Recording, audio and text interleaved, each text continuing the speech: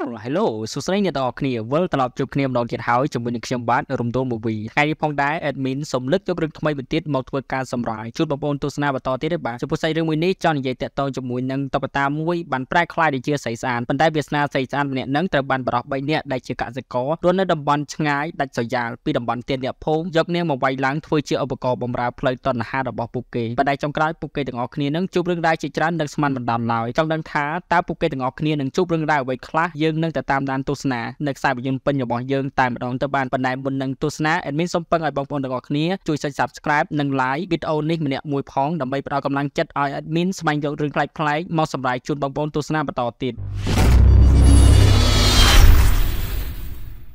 ចាប់ផ្ដើមនៃសាច់រឿងរបស់យើងមកបានបង្ហាញពីបរិសម្នាក់ដែលមានឈ្មោះថាម៉ាទីនឥឡូវនេះគាត់បានធ្វើដំណើរមកជួបជាមួយនឹងមិត្តភ័ក្តិរបស់ខ្លួនដែលមានឈ្មោះថាចនគោលបំណងដែលលោកម៉ាទីនមកនឹងដើម្បីសុំលោកចនស្នាក់នៅមួយរយៈពីព្រោះតែឥឡូវនេះគាត់បានបែកគ្នាជាមួយនឹងសង្សាររបស់ខ្លួននៅឯទីក្រុងលោកចនមានក្មួយប្រុសម្នាក់ផងដែរគេនឹងគឺមានឈ្មោះថាអាបឺតគឺជាមនុស្សកើមិនអាចនិយាយបានឡើយការងាររបស់លោកចនគឺជាអ្នកដែលចិញ្ចឹមសត្វពពែបន្តមកលោកចនក៏បាននាំលោកម៉ាទីនទៅមើលកន្លែងតុកស្រារបស់គាត់ទោះបីជាផ្ទះរបស់គាត់នៅឆ្ងាយពីតំបន់ទៀននៅភូមិដាច់ស្រយាលនៅលើភ្នំក៏ដោយប៉ុន្តែលោកចនបានត្រៀមស្រាជាច្រើនប្រភេទមិនខ្វះផឹកឡើយបាទពួកគេនេះក៏បានផឹកស្រាជួបលេងជាមួយគ្នាឡើងសប្បាយតែម្ដងជាពិសេសលោកចនបានបង្ខំឲ្យអាបឺតផឹកស្រាជាមួយពួកគេផងដែរអាបឺតមិនអាចប្រកែកបានទេពីព្រោះតែរូបគេពិតជាខ្លាចលោកចនខ្លាំងមែនទែនក្រោយពីពួកគេបានផឹកស្រាម្នាក់ម្នាក់ឡើងសវឹងអស់ហើយនឹងចនក៏បាននិយាយប្រាប់ទៅកាន់ម៉ាទីនកុំឲ្យពិបាកចិត្តខ្លាំងពេកធ្វើចិត្តឲ្យសប្បាយបំភ្លេចនាងចោលទៅចនក៏បានប្រើឲ្យអាបឺតទៅរៀបចំធ្វើរូបតុក្កតាមួយមើលទៅអាបឺតហាក់ដូចជាមិនចង់នោះទេប៉ុន្តែរូបគេមិនអាចប្រកែកបានឡើយអាប៊ិតក៏បានបញ្ញាប់ញ៉ាវធ្វើរូបតុក្កតា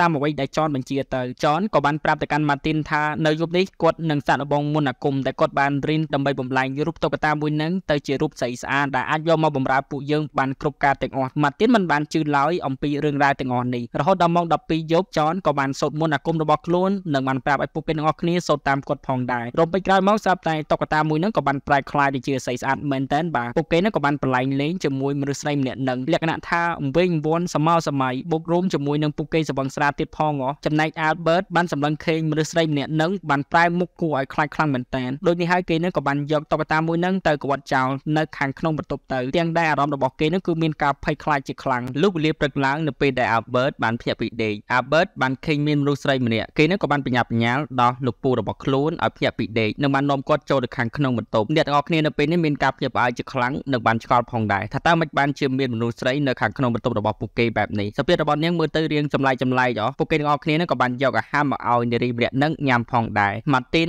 និងលោកចនក៏បាននាំគ្នាចេញទៅខាងក្រៅទុកឲ្យអាបឺតនៅមើលនាងម្នាក់ឯងពួកគេទាំងពីរនេះចាប់ផ្ដើមទៅជែកគ្នានិងបានស៊ូគ្នាទៅវិញទៅមកថាតើនារីម្នាក់នឹងពិតជាកើតចេញពីតុក្កតានោះមិនដែរឬទេចំណែកឯចនក៏បានឆ្លើយថាខ្លួនក៏មិនដឹងផងដែរពីព្រោះរឿងកាលពីយប់មិញហ្នឹងគាត់ចេះតែធ្វើចេះតែសូត្រប៉ុណ្ណោះប៉ុន្តែចនមិនបានខកខ្វល់អីច្រើនទេគាត់ក៏បានបញ្ញាបញ្ញាលចេញទៅមើលសត្វប្រភេទរបស់គាត់ទៅចំណែកអាបឺតជាមួយនឹងនារីចម្លែកម្នាក់ហ្នឹងពួកគេទាំងពីរនេះហាក់ដូចជាមានការចូលចិត្តចំពោះគ្នាទៅវិញទៅមកព្រាមនោះម៉ាទីនក៏បានដើរចូលមកនៅបានយកអាហារពីអាបឺតបេះឲ្យនាងផងដែរម៉ាទីនក៏បានធ្វើការណែនាំឈ្មោះខ្លួនឯងប្រាប់អញ្ចឹងណាប៉ុន្តែនារីម្នាក់នឹងមិនចេះនិយាយឡើយពួកគេនឹងក៏បានដាក់ឈ្មោះឲ្យនារីម្នាក់នឹងថាជូលៀតម៉ាទីនក៏បានប្រើឲ្យអាបឺតយកស្បែកជើងមួយគូមកឲ្យជូលៀតផងដែរបន្តមកទៀតម៉ាទីនក៏បាននាំជូលៀតមកជួបជាមួយនឹងលោកចនដែលកំពុងតែពលាស្បែកសត្វពពែមើលទៅជូលៀតគ្រាន់តែឃើញសត្វពពែបែបនេះនាងមានការចាប់អារម្មណ៍ជាខ្លាំងម៉ាទីនក៏បាននិយាយប្រាប់ទៅកាន់ចនឲ្យនាំជូលៀតទៅកាន់តំបន់ទានអ្នកភូមិក្រែងលោមានអ្នកស្គាល់នាងអចនក៏បានយល់ព្រមនិងបានប្រាប់ឲ្យម៉ាទីនជួយបង្ហើយការងាររបស់គាត់ផងដែរបើសិនជាមានបញ្ហាអីឬក៏មិនយល់តាក់ទងជាមួយនឹងការងារអាចសួរនាំអាបឺតបាននិយាយចាប់ហើយចនក៏បាននាំជូលៀចាក់ចេញទៅ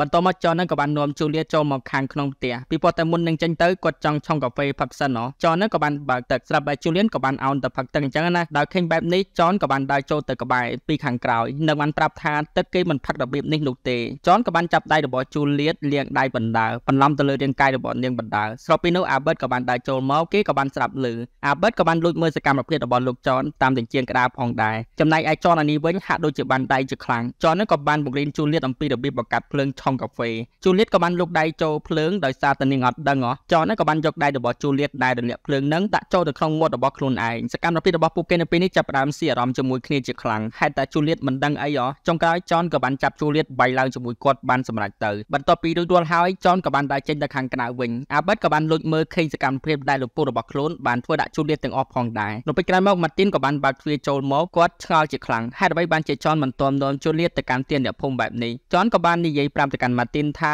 ជូលៀតនាងមិនចង់ទៅណានឡើយគឺនាងចង់នៅទីនេះម៉ាទីននៅតែចេះចង់នាំជូលៀតទៅវិញទៅតែប៉ុន្តែចនមិនព្រមឡើយបន្តមកទៀតនៅគណៈពេលដែលចនកំពុងតែរវល់ធ្វើការងារស្រាប់តែម៉ាទីនក៏បានលួចចូលមកយកជូលៀតរត់ចេញទៅជាមួយខ្លួនចំណែកឯចនក៏មិនបានឃើញជូលៀតបែបនេះចននឹងក៏បានស្រែកហៅអាប៊ឺតនិងបានសួរនាំថាតើមិនបានឃើញម៉ាទីននិងជូលៀតដែរឬទេអាប៊ឺតក៏បានធ្វើសញ្ញាប្រាប់ថាមិនបានឃើញឡើយចននឹងក៏បានបញ្ជាឲ្យអាប៊ឺតទៅយកកំភ្លើងចេញមកបើសិនជាបានឃើញពួកគេឲ្យបាញ់កំភ្លើងឡើងទៅខាងលើដើម្បីផ្ដល់សញ្ញាឲ្យខ្លួនម៉ាទីនក៏បាននាំជូលៀតមកដល់កន្លែងមួយគាត់នឹងក៏បានចង្អុលបង្ហាញផ្លូវប្រាប់ជូលៀតឲ្យធ្វើដំណើរទៅកាន់តំបន់ផ្ទះអ្នកភូមិវិញប៉ុន្តែមើលទៅជូលៀតស្ដាប់មិនយល់ឡើយនាងនឹងក៏បានរើបំរាស់រត់ចេញពីម៉ាទីនម៉ាទីនក៏បានជាយាមរត់ដេញចាប់នាងត្រឡប់មកវិញហ៎ស្របពេលនោះចនក៏បានមកដល់កន្លែងមួយនឹងផងដែរម៉ាទីនក៏បានបិទមាត់ជូលៀតមិនឲ្យស្រែកទេពីព្រោះតែខ្លាចចនខេងបន្ទាប់ពីចនចេញទៅបាត់នៅសល់តែពីរនាក់បែបនេះម៉ាទីនមិនចាំយូរឡើយគេនឹងក៏បានចាប់រំលោភជូលៀតបានសម្រេចផងដែរបន្ទាប់ពីរួចរាល់ហើយម៉ាទីនក៏បាននាំជូលៀតត្រឡប់មកវិញពេលដែលបានឃើញអាប៊ឺតកំពុងតែឈរកាន់កំភ្លើងបែបនេះម៉ាទីនក៏បានឲ្យជូលៀតរត់ទៅពួននៅខាងក្រៅផ្ទះទៅគេនឹងក៏បានដើរចូលមកសួរនាំទៅកាន់អាប៊ឺតថាតើកំពុងតែធ្វើអីអាប៊ឺតក៏បានភ្ញាក់និងបានបាញ់កំភ្លើងមួយគ្រាប់ផងដែរលោកចនក៏បានលឺនិងបានបញ្ញាបញ្ញារត់ត្រឡប់ទៅវិញចំណែកឯម៉ាទីនក៏បានយកកំភ្លើងចេញពីអាប៊ឺតនិងបានបញ្ជាឲ្យអាប៊ឺតចូលទៅខាងក្នុងផ្ទះវិញផងដែរពេលដែលចនរត់មកដល់គេនឹងក៏បានទាមទារយកកំភ្លើងពីម៉ាទីនវិញហ៎ប៉ុន្តែម៉ាទីនមិនព្រមឲ្យឡើយនិងបានយកវាជូនទៅកាន់ចននិងបានសួរថាតើចនបានធ្វើអ្វីខ្លះជាមួយនឹងជូលៀតឬអត់ចនបានភ័យជាខ្លាំងនិងបានសារភាពតាមត្រង់ទៅថាខ្លួនបានដេកជាមួយនឹងជូលៀតរួចរាល់ហើយប៉ុន្តែគាត់មិនបានចាប់បង្ខំនាងទេគឺនាងផ្ទាល់ជាអ្នកស្ម័គ្រចិត្តដោយខ្លួនឯងម៉ាទីនក៏បានសោយនិងបានប្រាប់ថារូបគេក៏បានដេកជាមួយនាងបានសម្រេចផងដែរលោកវេលាយប់ឡើងពួកគេទាំងពីរនាក់ក៏បានផឹកស្រាជាមួយគ្នាបណ្ដាជជែកជាមួយគ្នាបណ្ដាចំណែកអាប៊ឺតកំពុងតែលេងជាមួយនឹងជូលៀតហាក់ដូចជាមានភាពសោកស្ដាយជាមួយគ្នាជាខ្លាំងពួកគេទាំងពីរនាក់លែងមានបំណងចង់ជូនជូលៀតទៅកាន់តំបន់ផ្ទះអ្នកភូមិវិញហើយបាទពីព្រោះតែពួកគេចង់ទុកនាងធ្វើជាឧបករណ៍វាយឡើងហ៎ជាពិសេសចននឹងក៏បាននិយាយសារភាពតាមត្រង់ប្រាប់ទៅកាន់ម៉ាទីនផងដែរថាតាមការពិតទៅអាប៊ឺតមិនមែនគឺជាក្មេងកំព្រានោះទេ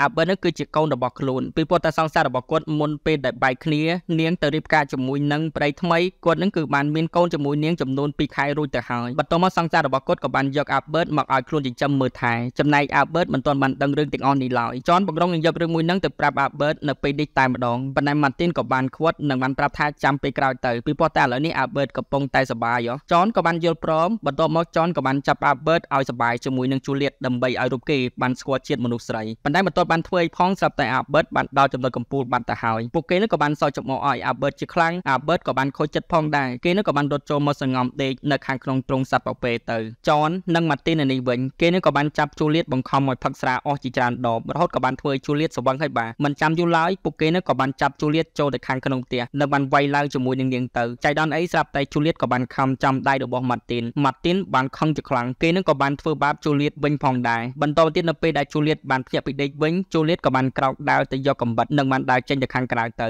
លុះវេលាព្រឹកឡើងពួកគេនឹងក៏បានឃើញថាសត្វប្រភេទរបស់ពួកគេត្រូវបានជូលៀតសម្លាប់ចោលទាំងអស់ចនបានខឹងជាខ្លាំងគេនឹងក៏បានបញ្ញាប់ញត្តិទៅស្វែងរកជូលៀតដើម្បីសម្លាប់នាងចោលតែម្ដងរពេលក្រោយមកស្រាប់តែម៉ាទីនក៏បានឮសំឡេងអ្វីម្យ៉ាងគាត់នឹងក៏បានឡើងទៅមើលតាមពិតគឺជាជូលៀតសោះម៉ាទីនក៏បានទុកបន្ថៅរបស់ខ្លួននិងបាននិយាយលំលំជូលៀតឲ្យមកតាមគាត់ម៉ាទីនក៏បានប្រាប់ជូលៀតថាឥឡូវនេះចនកំពុងតែស្វែងរកនាងបើសិនជាគេរកនាងឃើញគេនឹងសម្លាប់នាងចោលជាមិនខានម៉ាទីនក៏បានឲ្យជូលៀតចូលទៅពូនលាក់ខ្លួននៅក្នុងផ្ទះដាក់ស្រាចាក់សោពីអាខាងក្រៅនិងបានប្រាប់ថាបន្តិចទៀតខ្លួននឹងត្រឡប់មកវិញបន្តមកទៀតម៉ាទីនក៏បានរត់មកប្រាប់ចនថាខ្លួននឹងក៏បានឃើញជូលៀតរត់ទៅខាងនោះអញ្ចឹងទៅចនក៏បានបញ្ញាប់ញ៉ាល់រត់ទៅតាមជូលៀតទៅបាទចំណែកឯស្ថានភាពរបួសដៃរបស់ម៉ាទីនក៏ចាប់ផ្ដើមមានបញ្ហាផងដែរត្រង់ពេលក្រោយមកចនក៏បានត្រឡប់មកវិញគាត់ក៏បានឃើញថាម៉ាទីនមានសភាពអស់កម្លាំងជាខ្លាំងពីព្រោះតែរបួសដៃរបស់គេដែលត្រូវបានជូលៀតខាំនឹងវាមានពឹសហ៎ចនបង្រងនឹងយកម៉ាទីនទៅកាន់ផ្ទះអ្នកភូមិដើម្បីស្វែងរកថ្នាំមកព្យាបាលប៉ុន្តែម៉ាទីនក៏បានប្រាប់ថាខ្លួនមិនអាចទៅបានទេនិងបានសារភាពតាមត្រង់ថាឥឡូវនេះប៉ូលីសកំពុងតែតាមចាប់រូបគេផងដែរពីព្រោះតែរូបគេមិនបានបែកគ្នាជាមួយនឹងសង្សារឡើយគឺគាត់គឺជាអ្នកដែលយកកំបិតមកចាក់សម្លាប់នាងបន្ទាប់ពីបានលើបែបនេះចនក៏បានរត់ចេញមកខាងក្រៅស្រែកប្រាប់អាប៊ឺតឲ្យទៅយកស្រាមកឲ្យខ្លួនជាបន្ទាន់ដើម្បីយកមកចាក់លាងមុខរបួសឲ្យម៉ាទីនឥឡូវនេះអាប៊ឺតបានរត់មកដល់ផ្ទះដាក់ស្រាហើយបាទប៉ុន្តែនៅពេលដែលបើកទ្វារចូលមកក៏ត្រូវបានជូលៀតយកដបស្រាមកវាយចំក្បាលរបស់អាប៊ឺតសន្លប់បាត់ទៅចំណែកឯជូលៀតក៏បានព្យាយាមដោះឲ្យអាប៊ឺតដឹងខ្លួនឡើងវិញផងដែរពីព្រោះនាងស្មានថាគឺជាលោកចនណោះដោយចាំយូរពេកមិនបានឃើញអាប៊ឺតត្រឡប់មកវិញចនក៏បានដើរទៅមើលខ្លួនឯងពេលនោះគាត់ក៏បានឃើញថាជូលៀតនៅខាងក្នុងផ្ទះដាក់ស្រារបស់ខ្លួនខ្លួនបែបនេះចនសប្បាយចិត្តជាខ្លាំងគាត់នឹងក៏បានចាក់សោទ្វារពីខាងក្រៅនិងបានយកសាររបស់គាត់ដែលមានជាតិអាល់កុលខ្លាំងៗអស់គប់ទៅលើផ្ទះមួយនឹងទៅបន្ទាប់មកគាត់នឹងក៏បានយកឈើគោមកដុតសម្លាប់ជូលៀតតែម្ដងប៉ុន្តែនៅពេលនោះស្រាប់តែជូលៀតក៏បានបញ្ញាប់ញាល់ឡើងចេញមកតាមដំបូលដល់ឃើញបែបនេះចនបំរុងនឹងយកកំភ្លើងមកបាញ់ស្រាប់តែគាត់ក៏បានឃើញអាបឺតនៅខាងក្នុងផ្ទះចនក៏បានទៅបើកទ្វារឲ្យអាបឺតរត់ចេញមកខាងក្រៅប៉ុន្តែភ្លើងនឹងបានឆាប់ចេញរូបគេជាខ្លាំងចននឹងក៏បានយកកណាត់មកជួយបន្លត់ភ្លើងផងដែរប៉ុន្តែគាត់មិនអាចជួយសង្គ្រោះជីវិតអាបឺតបានទេចុងក្រោយអាបឺតក៏បានដាច់ខ្យល់ស្លាប់បាត់បង់ជីវិតផងដែរចនបានខឹងជាខ្លាំងពីព្រោះគាត់មិនបានប្រាប់ការពិតទៅកាន់អាបឺតនៅឡើយទេថារូបគេនឹងគឺជាកូនប្រុសរបស់ខ្លួនគណៈពេលដែលគាត់កំពុងតែយំអោបកូនប្រុសរបស់ខ្លួនស្រាប់តែគាត់ក៏បានកលេចឃើញជូលៀតមិនចាំយូរឡើយគាត់ក៏បានរត់ចេញមកខាងក្រៅដាក់នាងមួយកៅអីដេកស្អាតទៅនៅបានធ្វើការជេរស្ដីទៅកាន់ជូលៀតថាគឺជាបិសាចបន្តមកទៀតចនក៏បានយកជូលៀតមកចងឃុំខ្លួននៅក្នុងបន្ទប់របស់គាត់ជាពិសេសគាត់ក៏បានយករូបឈើឆ្កាងព្រះយេស៊ូវមកបន្លាចដាក់ជូលៀតចំណែកឯជូលៀតក៏បានស្រែកភ័យខ្លាចជាខ្លាំងស្របពីនោះម៉ាទីនក៏បានលើកផងដែរគាត់នឹងក៏បានក្រោកមកមើលចនក៏បានយកទូលវិសមកដាក់ចំផ្ទៃមុខរបស់ជូលៀតបងរងនឹងចាក់ទម្លុះភ្នែករបស់នាងទៅហើយប៉ុន្តែសំណាងល្អខ្លាំងមែនទែនម៉ាទីនក៏បានចេញមកជួយនាងទាន់ពេលវេលាគេនៅក៏បានយកកំភ្លើងជួងគម្រាមទៅកាន់លោកចននិងបានស្រែកប្រាប់ឲ្យដោះលែងជូលៀតចនក៏បានតបទៅវិញថាដោះលែងយ៉ាងម៉េចនាងគឺជាបិសាចម៉ាទីននៅតែឆ្លើយតបមកវិញថានាងមិនមែនគឺជាបិសាចឡើយឆាប់ដោះលែងនាងទៅខ្ញុំមិនអាចឲ្យមនុស្សស្រីណាម្នាក់ស្លាប់ម្ដងទៀតនៅចំពោះមុខរបស់ខ្ញុំឡើយចនក៏បានគប់ទៅកាន់ម៉ាទីនមួយទូលវិផងដែរដើម្បីគម្រាមម៉ាទីនឲ្យភ្ញាក់ដឹងខ្លួនឡើងវិញភ្លាមនោះស្រាប់តែម៉ាទីនក៏បានបាញ់ត្រូវលោកចន